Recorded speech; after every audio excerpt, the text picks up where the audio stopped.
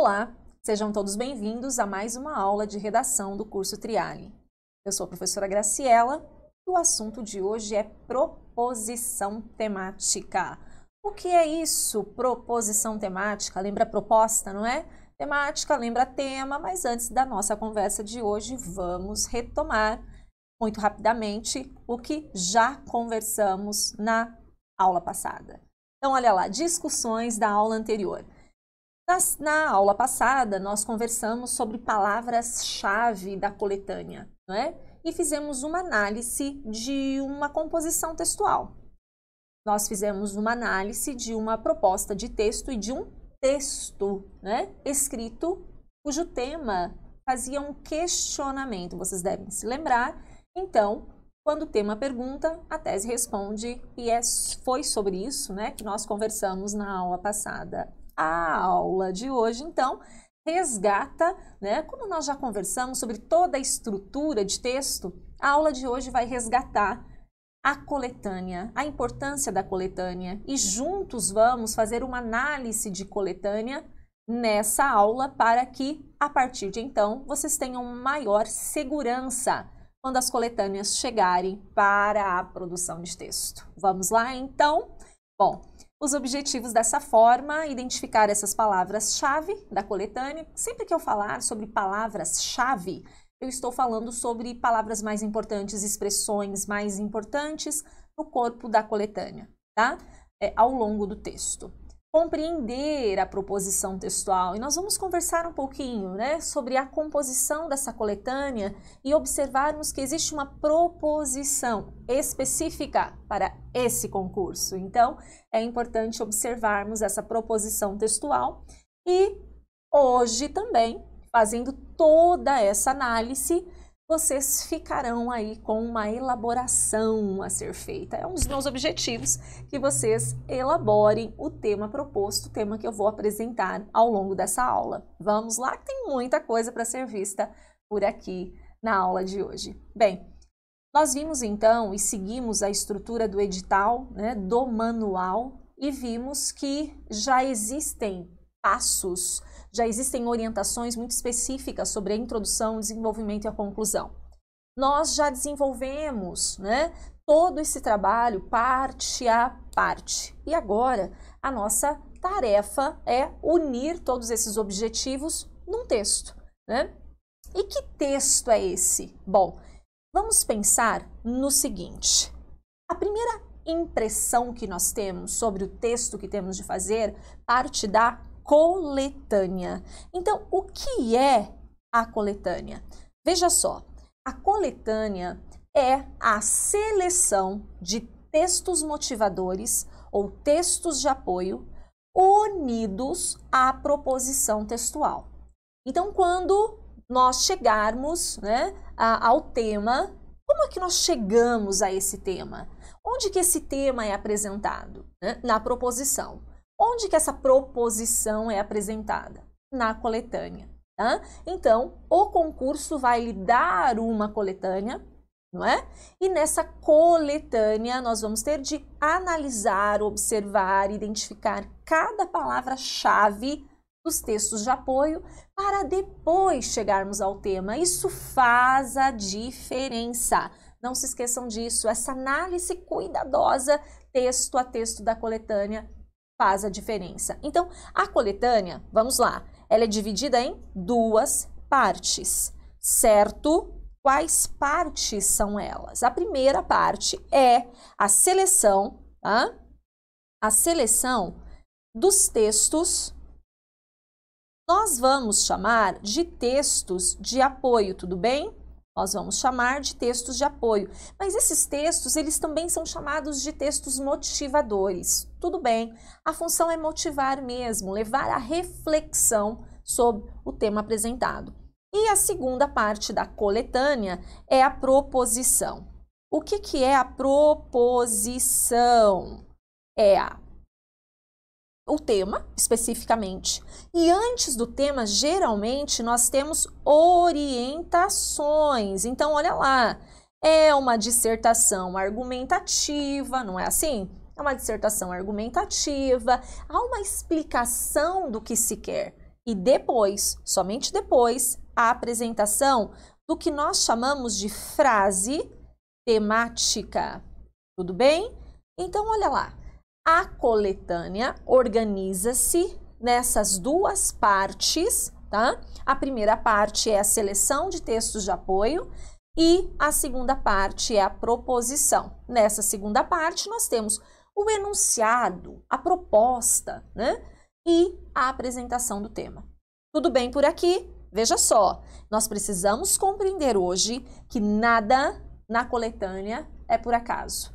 Nada é aleatório, tá? Então, todos os textos apresentados aqui nesta seleção são importantes. Tudo bem? Certamente cada texto quer apresentar um encaminhamento para o texto de vocês, tá certo? Então, cada texto apresentado na coletânea quer apresentar uma forma de encaminhar a produção que vocês farão. Tudo bem? Por isso a importância dessa análise texto a texto, é, realmente observando quais são as palavras mais importantes e significativas para a compreensão do tema. Tudo bem? Bom, então vamos lá. Já estamos aqui com uma coletânea, porque olha lá, conhecendo a coletânea, e é a coletânea que vocês desenvolverão, tudo bem? Então prestem atenção mesmo, essa análise faremos juntos aqui, mas o texto, estou esperando o texto de cada um de vocês, tudo bem? Então olha lá, texto 1. Veja só que interessante esse texto 1. Todos fomos educados para conviver com outras pessoas em sociedade, no lar, no ambiente de trabalho. Vamos lá. Então estamos falando de sociedade. Estou falando de sociedade, estou falando de uma ideia coletiva, coletividade. Todos recebemos, em maior ou menor grau, uma educação formal na escola, muito bem, isso parece importante. Educação formal na escola, que muito nos ajuda a compreender o mundo de hoje. Todos nós, enfim, possuímos uma formação cultural e profissional. Então vamos lá, ideia importante. Possuímos uma formação cultural e profissional. Mas veja isso aqui. Que ideia é essa, moçada? Essa ideia é adversativa, não é não? Então, tudo que eu disse até agora será contrariado. Hum? Mas que nem sempre engloba a educação financeira. Aqui está a cereja do bolo. Hã? Educação financeira. Hum, esse é o nosso assunto, moçada. Esse é o nosso assunto. Então veja só que esse, esse texto é o texto 1 um da coletânea, né? E ele já nos deu muitas ideias ele já nos disse que nesta coletividade, com esta educação formal, com esta formação cultural, esta formação profissional não nos garante a educação financeira. No entanto, a discussão sobre a importância do dinheiro e de sua boa administração é fundamental para que possamos melhor planejar nossas vidas Opa, que ideia é essa aqui? Da importância. Importância do quê? Importância da educação financeira. Veja, então eu estou aqui analisando, olha lá, a importância do meu assunto, do que nós vamos discutir nessa proposição, tá? Muitas vezes podemos enfrentar dificuldades por não ter tido informações que nos auxiliassem a conviver melhor com os problemas do consumo e da poupança em especial, se dependemos do salário para viver. A autogestão financeira, olha que interessante isso. Hein? Se vou precisar falar sobre educação financeira, autogestão é uma boa palavra porque é uma palavra que eu posso substituir hein? para falar de educação financeira. Nesse contexto, substitui tranquilamente. A autogestão financeira, então, é importante para que vivamos com menos preocupações geradas pela falta de reservas financeiras, para que tenhamos maior autonomia em nossas decisões, para que possamos planejar o nosso futuro e o de nossos filhos, para termos prazer em consumir produtos e serviços, em adquirir bens eh, de que necessitamos.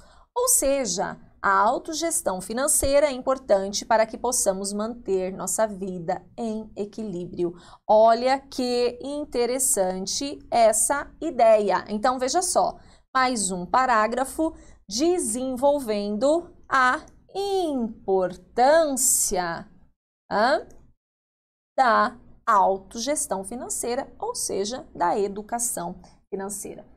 Vocês estão vendo né, que nós fomos fazendo a leitura deste texto 1 e analisando trecho a trecho, palavra a palavra. Veja só, isso é fundamental. Tá? O texto 1 da coletânea, ele nos trouxe a ideia de que somos seres coletivos, somos seres sociais, que possuímos educação formal, e temos uma formação cultural e profissional, no entanto, isso não garante a educação financeira e que essa mesma educação financeira é extremamente importante para a nossa qualidade de vida, para a nossa vida em equilíbrio. Bom, vamos que vamos então, texto 1 fechado, analisado, muitas ideias aqui já foram destacadas. Texto 2. Opa! Se o texto 1 foi o texto, um texto informativo, veja só, o texto 2 é um texto misto. O que é mesmo um texto misto? É um texto que mistura o texto verbal do texto não verbal. Eu estou falando que esse texto é um texto misto porque esse texto é um infográfico, não é? Infográfico, muito bem. Então vamos lá, nós precisamos compreender esse infográfico, do que ele está falando. Então vamos lá. 72% dos brasileiros pensam com cuidado se poderão pagar. Olha, interessante esse dado, né? É uma pesquisa realizada, é um censo realizado é, com maiores de 16 anos de todo o país. Interessante essa, essa referência. Olha lá, 64% dizem pagar suas contas em dia. 18% responderam corretamente sobre juros compostos. 27% das mulheres são as únicas responsáveis pelas finanças de casa. Já os homens que gerem sozinhos as despesas somam 45% do total. 34% dos homens pouparam parte da renda nos últimos 12 meses enquanto 27% das mulheres conseguiram guardar recursos no período. Vamos entender então, nós estamos observando como se comportam os brasileiros quanto ao uso de serviços financeiros. Olha lá, 69% não pouparam nenhuma parte da renda recebida nos últimos 12 meses. 56% não fazem orçamento doméstico ou familiar. 50% sentiu que alguma vez nos últimos 12 meses as despesas foram maiores que a renda. Bom, vamos lá. O que, que esse infográfico tem a nos dizer? O infográfico traçou então um perfil dos brasileiros. Nós poderíamos chegar a algumas conclusões considerando, obviamente, esse infográfico. Por exemplo, a que conclusão podemos chegar hã, quando observamos esses dados? Hã? Uma questão hã, de diferença de gênero quanto à autogestão. Né? Então, a autogestão que os homens fazem é diferente que as mulheres fazem. Né? Nós estamos considerando esse texto. É o que nós temos, é o que a coletânea nos, nos, nos está apresentando. Né? Então, sobre o perfil, há uma diferença entre homens e mulheres. No perfil, conseguimos chegar à conclusão que quase 70% dos brasileiros não pouparam nenhuma parte do que receberam em um ano. Então, olha lá, quase 70% dos brasileiros. Né? Quanto a homens e mulheres, nós podemos observar também esses dados aqui. 27% das mulheres são responsáveis, as únicas responsáveis, enquanto os homens somam 45% do total. Né? E olha só isso aqui: 56%, eu posso dizer mais de 50%, quase 60% dos brasileiros não fazem um orçamento doméstico, não se organizam né, estruturalmente, sistematicamente quanto ao que devem, quanto ao que qual a receita, né, quais são os débitos e tudo mais. Veja só. Então, o que, que esse infográfico nos trouxe? O perfil. O perfil dos brasileiros. E aí vocês podem me perguntar: bom, mas do que adianta tantos números, tantos dados? Eu não posso copiá-los no texto? Isso é verdade que nós não podemos usar esses, essas informações no texto? Veja bem, tomem cuidado com o que eu vou dizer agora. Prestem atenção. Tudo que é apresentado na coletânea pode sim ser usado no texto. Depende da forma que você vai utilizar. Por exemplo, nós já discutimos em aulas anteriores a diferença entre citação e alusão. A paráfrase, a importância da paráfrase. Quando nós estamos olhando para esse infográfico e nós estamos vendo que 69% não pouparam, não é? Ora, o que seria uma paráfrase desse 69%? praticamente 70%, não é? Isso é uma paráfrase. Mas se eu não quiser parafrasear, se eu quiser utilizar o 69%, ora, é simplesmente citar a fonte. Se você citar a fonte, nenhum problema ocorrerá. Tá? Então, em dada pesquisa apurada por brasileiros com maior, é, maiores de 16 anos, então explica, referencie. Por isso é sempre muito importante ler as referências, tá? Se você referenciar, esse dado pode sim ser apresentado no seu texto. Agora, olha só, disse para tomar cuidado, não é? Por quê? Vamos imaginar que o seu texto inteiro, tá? os seus dois parágrafos, três parágrafos de desenvolvimento, a sua introdução, até a sua conclusão, tem ideias que a coletânea trouxe. Ora, onde está a sua autoria? Onde está a carga de repertório que você trouxe? Né? Então, veja só, podemos utilizar informações? Sim, podemos utilizar informações da coletânea. No entanto, precisamos acrescentar informações que sejam do nosso repertório. Então, ficarmos presos à coletânea, isso sim limita a fundamentação, tá bem? Mas nada de sair correndo da coletânea, nada disso. Elas apresentam os textos, né? Da coletânea sempre apresentam boas ideias e boas informações, tá certo? Paráfrase, citação, tudo certo. Bem, Vamos que vamos, texto 2 compreendido é o perfil e eu posso utilizar sim, né, essas informações desse perfil. Bom, o texto 3 aí, olha só, né? Vamos lá. Cidadania, hum, essa palavra é importante demais, hein? O texto 1 nos trouxe a ideia de coletividade. O texto 3 está nos trazendo a ideia de cidadão. Então, sujeito, é o sujeito dessa coletividade. Veja que relação importante aqui nós temos.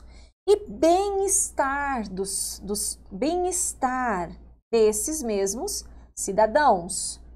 Bem-estar financeiro. Então veja, cidadania e bem-estar financeiros. Nós vamos falar de cidadania financeira. Que expressão interessante, não? Cidadania financeira. Nós já falamos sobre autogestão financeira. Olha quantos termos interessantes para utilizarmos aí no nosso texto. Bom, vamos lá. O que significa cidadania e bem-estar financeiros? Acesso a crédito. Acesso a instâncias de reclamação e mediação de conflitos acesso a instrumentos de poupança remunerada, acesso a instrumentos financeiros de gestão de riscos, seguro, aposentadoria, responsabilidade na oferta e uso do crédito. Conhecimento sobre gestão financeira. Olha que importante isto aqui. Autonomia e confiança em gestão financeira. Ética e transferência na oferta e contratação de serviços financeiros. Acesso a um ponto de atendimento. Acesso a instrumentos seguros de transações e pagamentos. Então vamos lá. O que significa cidadania e bem-estar financeiros? Significa resiliência e controle. Significa autonomia e liberdade. E significa oportunidade. Veja que interessante. Essa autogestão, então, financeira, essa cidadania financeira, esse bem-estar financeiro, significa termos acesso a tudo isso. Agora, isso, nós temos acesso real? Onde? Então veja que nós já começamos a pensar: hum, temos educação relacionada a finanças? Onde? Nas nossas famílias? Na escola? Nas propagandas? Na mídia? Onde nós temos? Ou não temos? Então veja só que esse texto ele nos questiona como desenvolver. É uma reflexão. Como desenvolver essa cidadania, esse bem-estar financeiros? Então, olha lá, muitas questões aqui para serem abordadas, né? E aí, três textos de apoio, muitas informações. Agora temos a proposição. Vamos lembrar então, proposição é composta pelas orientações. Vamos lá? Com base nos textos apresentados em seus próprios conhecimentos, escreva um texto dissertativo argumentativo, empregando a norma padrão da língua portuguesa. Essas são orientações, não é? Depois disso, nós temos o tema. Olha lá, o tema. Então, na proposição, temos as orientações e a frase temática. Dá uma olhadinha para a nossa frase temática aqui. Educação financeira, olha o E, sua importância na sociedade. Vamos lá. O que esse E significa? Vamos nos lembrar que esse E é um aditivo. E se ele é um aditivo, ele está dando real importância para as duas ideias apresentadas. Educação financeira terá de ser muito bem desenvolvida e a importância dessa na sociedade. Tudo bem, e se eu falar sobre a educação financeira, a problemática de não é, termos educação financeira nas escolas, por exemplo, né? essa dificuldade de nos organizarmos com esse, esse conteúdo, esse assunto, de lidarmos com isso no nosso dia a dia, tudo bem, se eu problematizar esse assunto, mas não falar sobre a importância, hum, o que acontece? Tangência já falamos muito sobre isso, não é? O que é o tangenciamento? Não discutir o tema integralmente. O que acontece? Penalizações, nota baixa. E não queremos isso, logicamente. Então, vamos lá. Fugindo do tangenciamento, como fugir do tangenciamento? Prestando muita atenção na frase temática. Tudo bem? Olha que interessante. O texto 1 né, falou muito sobre educação financeira, falou muito sobre a sociedade, né? E como nós nos colocamos nessa sociedade com uma formação é, escolar, formal, profissional, cultural e tudo mais. No entanto, já no texto 1 da coletânea, nós tivemos muitas informações sobre a importância. Não foi aleatoriamente. Não foi à toa que isso apareceu lá no texto 1, tá? Então, para a importância da educação financeira precisa ganhar destaque, assim como a discussão sobre a educação financeira. Entendido então? Duas palavras chave. Palavras não, né? Expressões. Olha lá, educação financeira é a nossa primeira expressão né? importante e a palavra importância, uma palavra-chave para esse tema. Tudo bem? Seguindo então. Bom, já ficou muito claro, né? Qual é o assunto? Então, se esse aqui é o tema, tema, lembra o que é tema mesmo? Ideia específica. Eu sei que vocês já sabem, eu sei, mas é sempre bom, né? Relembrar. Então, olha lá, tema, ideia específica. E aí, assunto, ó que bonito isso, ideia geral. Tá, tudo bem? Ideia geral. Que bicho é esse? Tá, então vamos lá. Se precisaremos conversar sobre educação financeira e falarmos sobre a importância da educação financeira, nós primeiro precisamos compreender esse conceito de educação financeira. O que é educação financeira? Então, que bicho é esse? Educação financeira. Né? Primeiro, para ficarmos inclusive empolgados, motivados a pensarmos um pouco sobre esse assunto, é importante pensar no porquê. Por que, que eu preciso refletir sobre isso? Ora, não pode ser só porque a coletânea mandou, não é? Precisa ser, obviamente, a percepção de que esse é um assunto importante, é um assunto relevante socialmente, né? Ele é relevante para a sociedade é, dos dias atuais. Então, olha lá. Por que essa educação financeira é tão importante? É essencial aprender sobre o assunto desde jovem. Por quê? Porque dinheiro não é problema, é solução. Porque quando as pessoas, porque as pessoas não devem, né, gastar sem pensar, devem gastar com consciência. Né? Porque as pessoas devem ter mais organização. E porque precisamos aprender a investir. Olha que interessante isso, porque isso aqui faz uma referência bastante interessante com o texto 3 da coletânea. Lembra o texto 3 da coletânea? Que falava sobre oportunidades. Precisamos aprender a investir. Temos oportunidades, não é? Então, olha lá, isso significa cidadania financeira, significa bem-estar financeiro, expressões que nós já aprendemos, não é? Bom, temas abordados nessa discussão Olha que interessante. Agora nós estamos estudando. Isso faz parte da coletânea? Não, a coletânea terminou lá na proposição, tá? O que nós estamos, estamos fazendo agora é estamos estudando sobre esse assunto. Né? Ninguém consegue escrever sobre algo que não conheça, não é mesmo? Pelo menos escrever bem, com fundamentação, não, é impossível. Então, Agora, vamos estudar um pouco mais sobre esse assunto para que aí sim possamos discutir o tema com segurança, não é? Então, olha lá.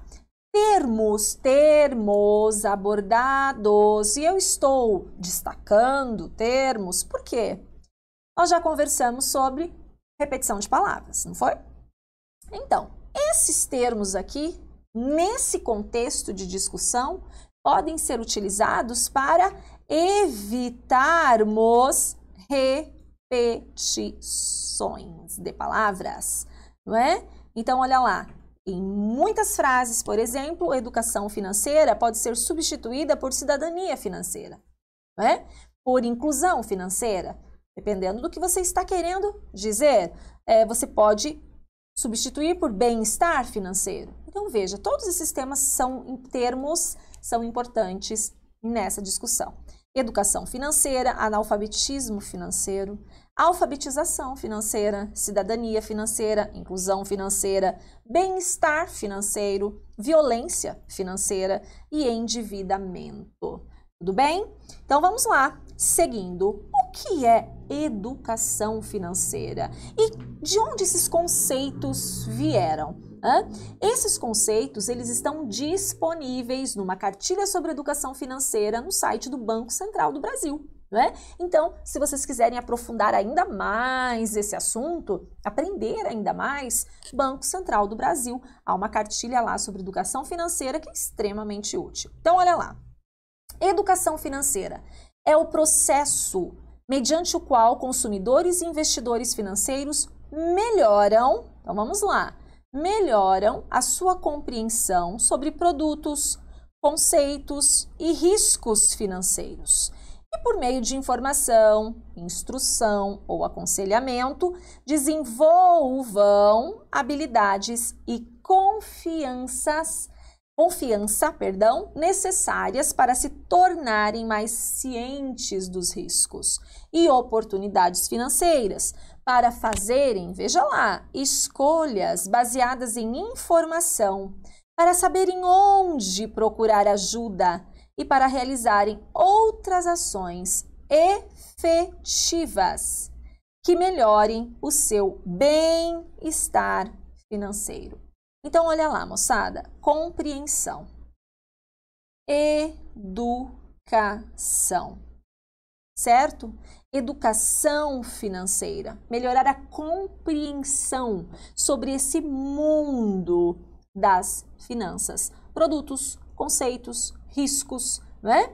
Bom, então olha lá, interessantíssima essa, essa terminologia, porque veja, já observamos que podemos substituir por bem-estar financeiro, né? Bom, e o analfabetismo financeiro? Aqui no Brasil especificamente. Bom, no Brasil, olha que interessante isso, parece o quê? Parece o quê? Alusão histórica. Olha que estratégia muito interessante essa, não? No Brasil, houve diversos fatos históricos que moldaram nossas atitudes contemporâneas.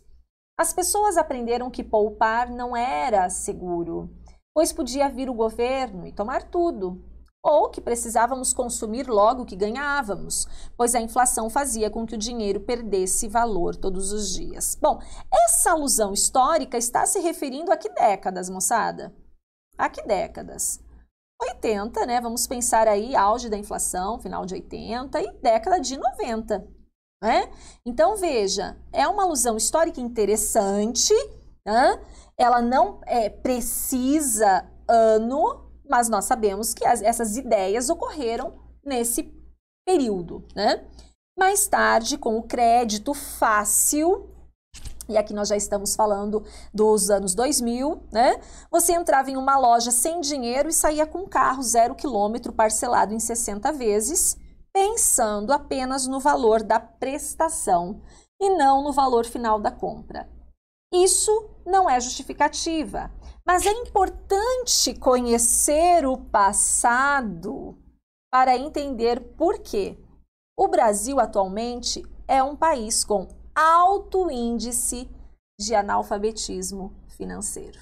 Então vamos lá, né? É sempre interessante essa ideia de conhecer o passado, né? Para corrigirmos, para não cairmos nos mesmos problemas e nos mesmos obstáculos aqui no presente, né? Já conversamos também sobre essa citação importante. E olha lá, é importante conhecer o passado para entender por quê o nosso país é um país com altos índices de analfabetismo financeiro. Então, olha lá, uma alusão histórica para alegrar a quem gosta muito de iniciar, né, justificar a, fundamentação aí com história.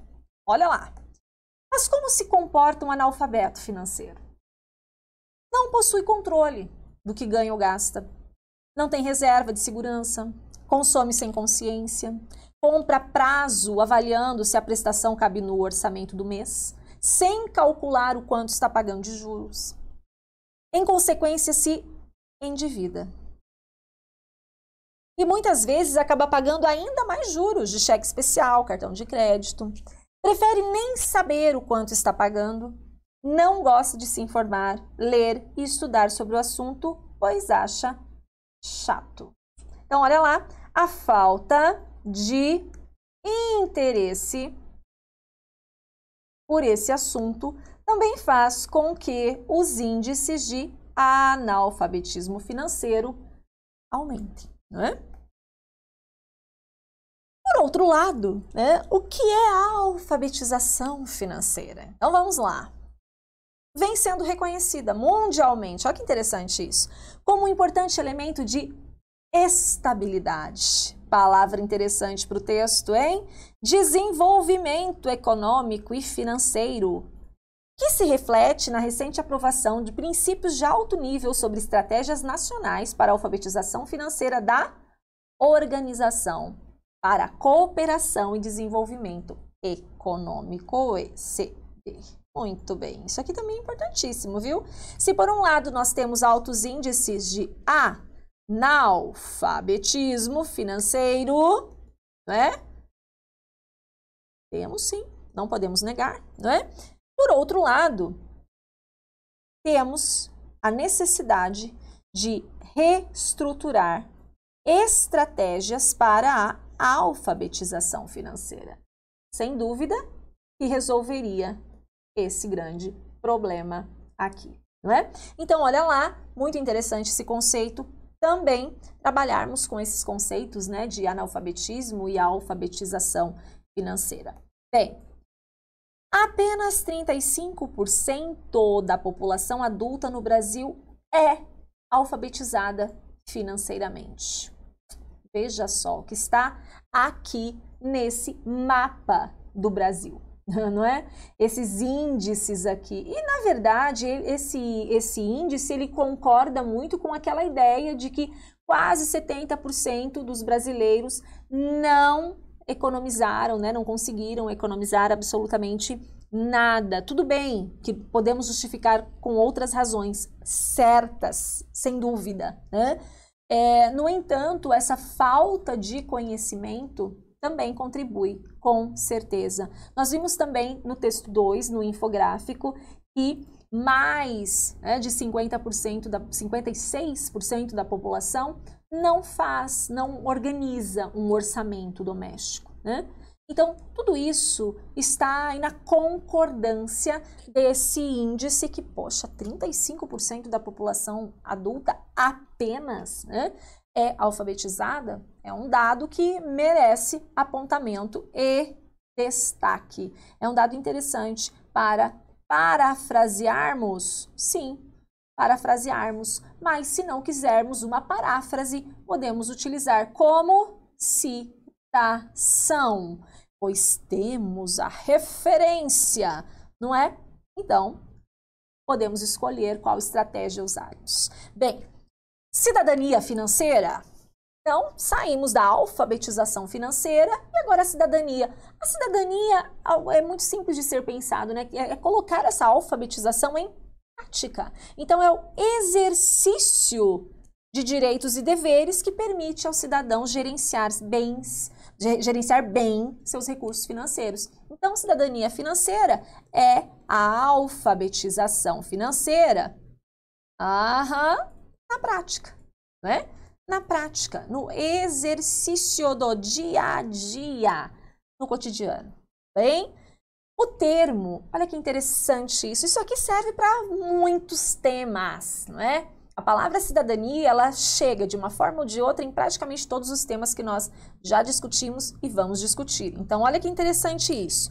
O termo cidadania é usado associado à Grécia Antiga. Isso comumente, né? É associado à Grécia Antiga. Contudo, ó, um adversativo aqui também, moçada. Adversativo. Vamos ter contrariedade aqui, hein?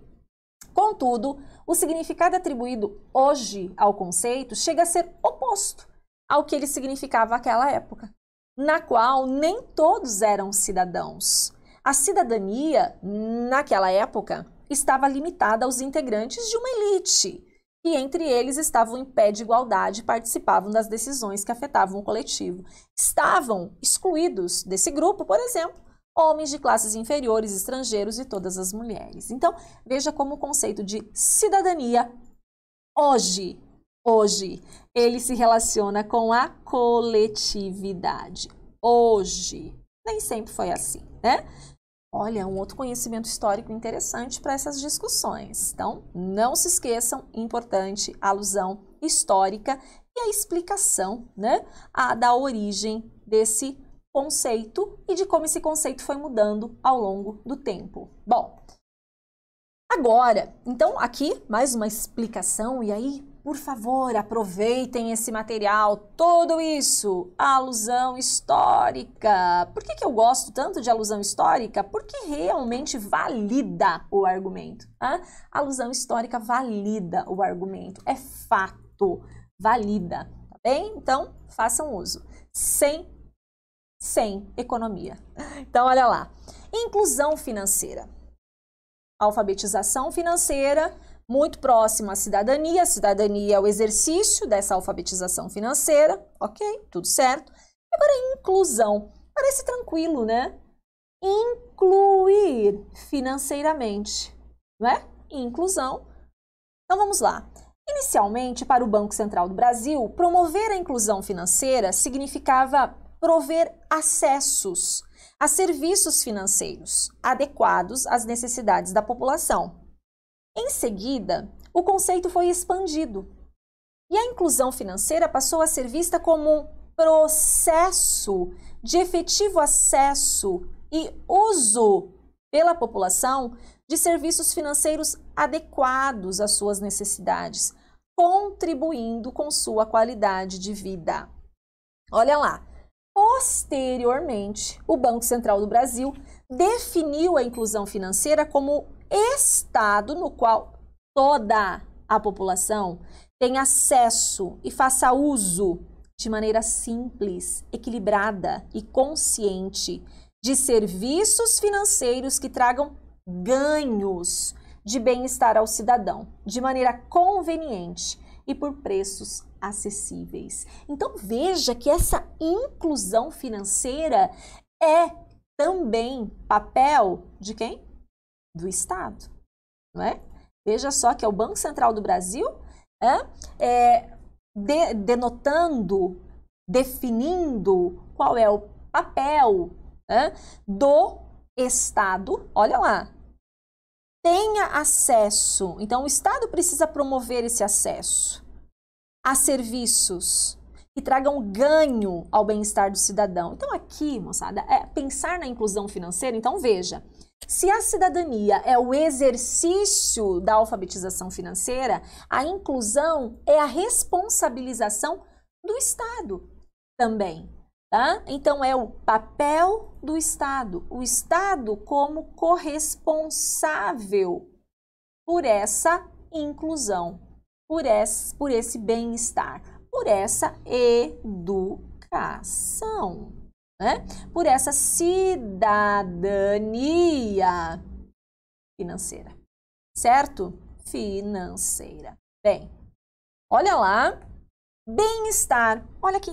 Porque assim, não é? Parece que estamos falando da mesma coisa? Não, não estamos falando. Vocês estão compreendendo como uma expressão pode ser utilizada em alguns contextos e outras em outros, não é? Então, por exemplo, quando eu, quero falar da responsabilização do Estado, eu não vou falar de bem-estar, eu vou falar de inclusão, né? E o bem-estar permeia os debates a educação, a proteção do consumidor, de serviços. Olha que interessante, isto aqui. Então veja, o bem-estar é a garantia de tudo que nós estamos falando até agora. Vocês viram que lá no texto 1, quando houve a apresentação do termo autogestão, era para promover exatamente o bem estar. Então, o bem-estar, sem dúvida, é o objetivo final da educação financeira. Então, vamos compreender desta forma: o bem-estar financeiro é o objetivo final da educação financeira. certo? E olha que interessante pensarmos nisso, porque se pensamos na inclusão como papel do Estado, na cidadania como exercício da alfabetização financeira, o bem-estar é o objetivo final de tudo isso, né? Bom, por que preciso? Ora, se nós não chegamos à conclusão até agora, porque precisamos de educação financeira, ah, hum, impossível, né? Então, por que preciso de educação financeira?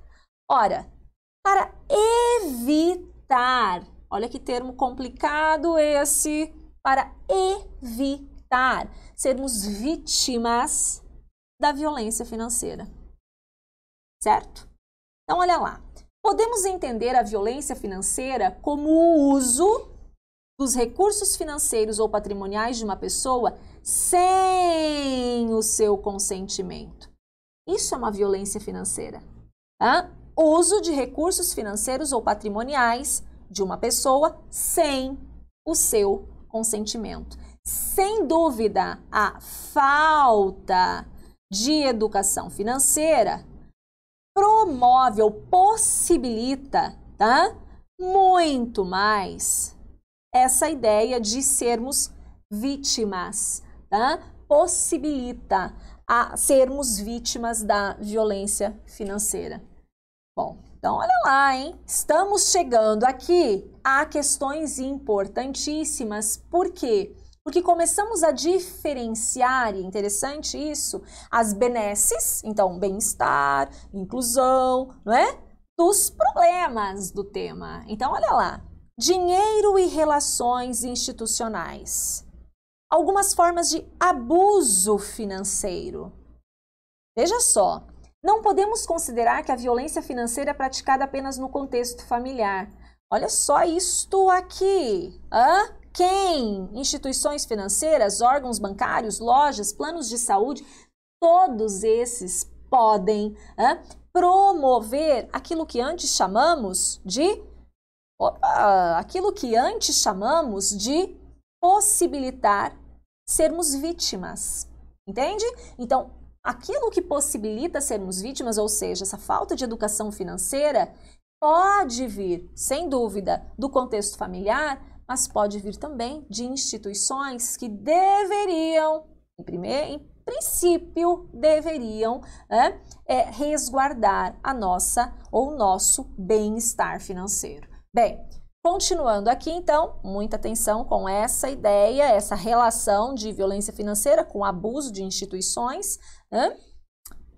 endividamento. Então, para encerrar o pacote dos problemas dessa ausência de educação financeira, aqui está o endividamento. Essa imagem é interessantíssima, né? Se nós analisarmos só a imagem, já basta para uma bela reflexão. Sem educação financeira e sem entendimento, a tendência é de que o brasileiro caia na rede, né? Caia na armadilha do endividamento. Então, o endividamento junto à violência financeira, junto ao abuso financeiro, são tristes o que, gente?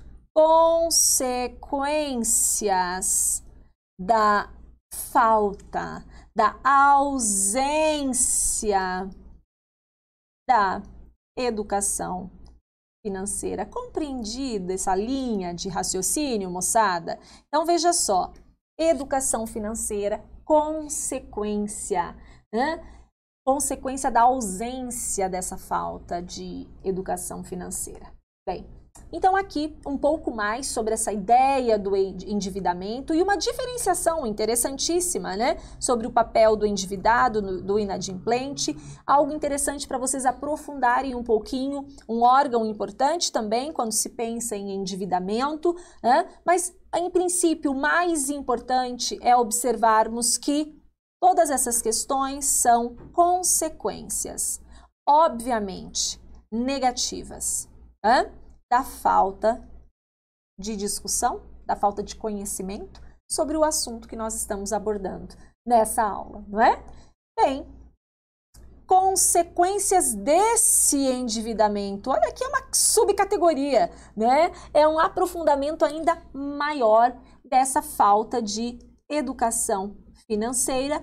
E aí, pessoal, é interessante que no texto vocês elejam, né, os argumentos já considerando o que vocês conseguiram filtrar de todo esse estudo que nós estamos fa fazendo, né? Porque veja, nós compreendemos a coletânea lá, lá no início da aula e depois disso nós começamos a aprofundar o assunto. Certamente vocês têm ainda mais conhecimento sobre tal. Então, pessoal, começa a chegar a hora de pensarmos onde essa educação financeira deveria ser apresentada, não é? Porque se estamos falando que nos falta educação financeira, apenas 35% dos adultos brasileiros são considerados alfabetizados financeiramente, onde deveria estar essa educação financeira, não é? E aqui uma belíssima reflexão sobre um projeto de lei que é, visa colocar, implantar de forma bastante sistematizada a educação financeira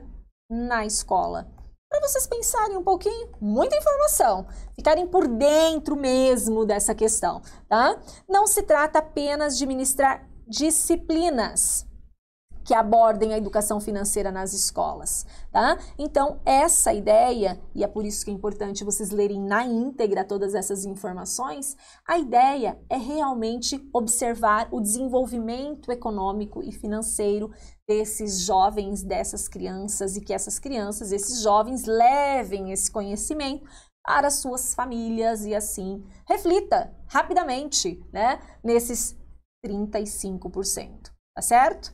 Bom, muito pode ser feito, muito pode ser feito, muitas ideias para vocês pensarem, apresentarem no texto, nenhum problema, tudo isso é conhecimento adquirido, tá? Então façam uma, leitura bem feita, compreendam toda essa questão, porque tudo isso aqui pode aparecer no texto como fundamentação e na verdade é o que nós queremos. Mas antes né, de pensarmos no texto, o que mesmo precisamos fazer?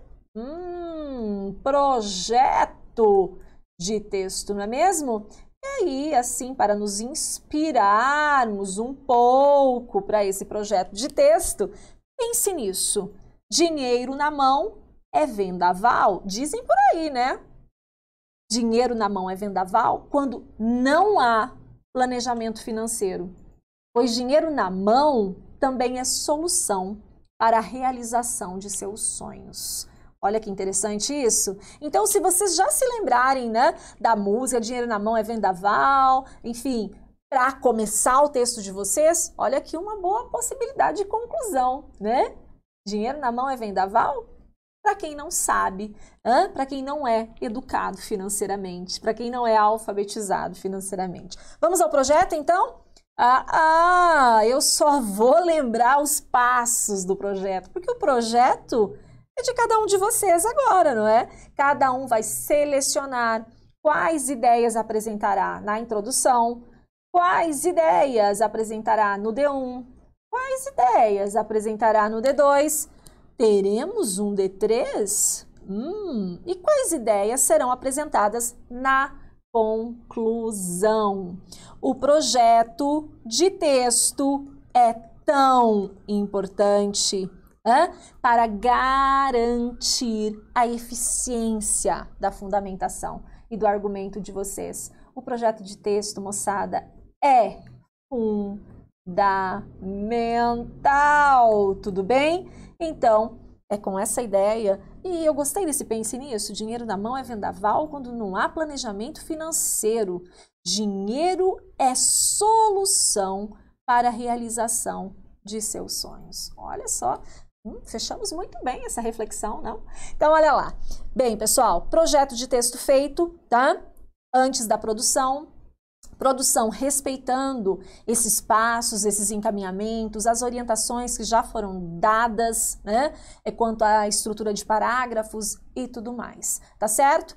Espero a produção de vocês, não deixem de fazer, tá certo? Bom, tópicos discutidos na aula de hoje, então, palavra-chave da coletânea, compreensão sobre o assunto, não é? Hoje refletimos muito sobre essa questão de alfabetização financeira e dessa necessidade, né? Não se esqueçam, educação financeira e sua importância na sociedade. E a proposição textual, espero dessa forma o texto de cada um de vocês. E assim encerramos a aula. Muito obrigada e até a próxima!